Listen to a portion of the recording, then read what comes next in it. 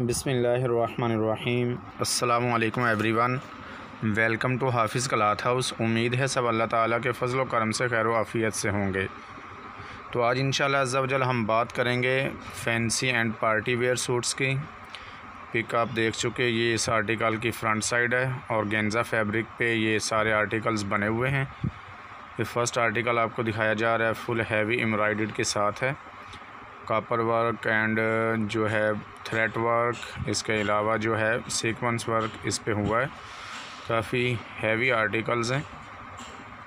ये इसका दामन का पैच आपको दिखाया जाएगा जा रहा है जो कि बिल्कुल आ, साथ में अटैच है। अलग से पैचेस नहीं हैं क्योंकि कस्टमर की डिमांड है कि जी अलग से पैचेस ना हों उनके लगवाने के अलहदा से चार्जेस जो है वो टेलर ले लेता है।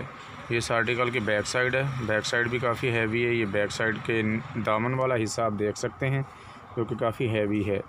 टाई एंड डाई में आर्टिकल्स हैं जिसकी काफ़ी ज़्यादा डिमांड जो है वो अब आ रही है।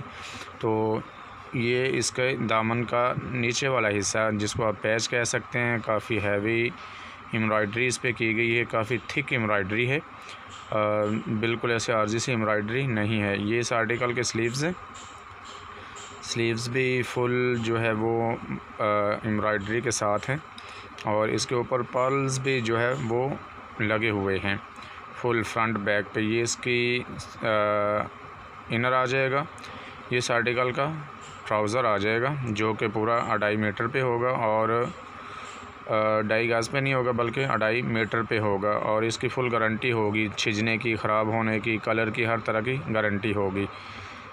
ये किसी तरीके से भी ख़राब नहीं होगा। ये इस आर्टिकल का गेंजा फैब्रिक पे ही दुपट्टा आ जाएगा। और ये भी फुल हैवी एम्ब्रॉयड है, ये आपके सामने है। और ये भी पौने तीन गज़, यानी कि अढ़ाई मीटर पर ही होगा। और काफ़ी बड़े अर्ज़ में है, इसका जो है वो चौड़ाई काफ़ी ज़्यादा है। ये आप करीब से देख सकते हैं।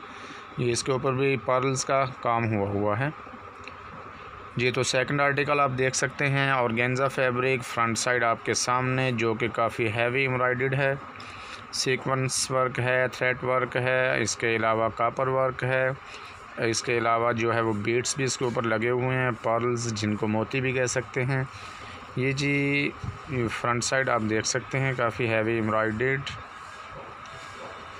ये जी इस आर्टिकल के स्लीव्स ये आप करीब से देख सकते हैं। हैवी एम्ब्रॉयड हैं और गेंजा फैब्रिक पे हैं। इसके साथ स्लिप भी होगी। जामावार ट्राउज़र होगा। हर आर्टिकल के साथ ये इस आर्टिकल का दुपट्टा है, जो कि पौने तीन गज़ कटिंग में होगा, अढ़ाई मीटर होगा।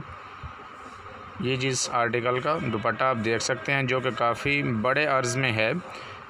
ऐसे आप समझ सकते हैं, जैसे एक बड़ी शॉल की चौड़ाई होती है विथ होती है, वैसे ही इस दुपट्टे की है। ये थर्ड आर्टिकल आपको दिखाया जा रहा है।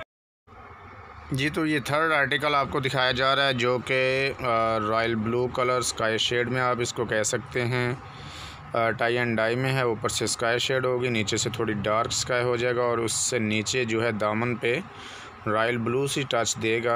ये इस आर्टिकल की फ्रंट साइड दामन का जो पैच है, आप कह सकते हैं हैवी एम्ब्रॉयड आप देख सकते हैं।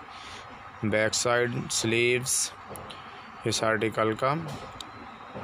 दुपट्टा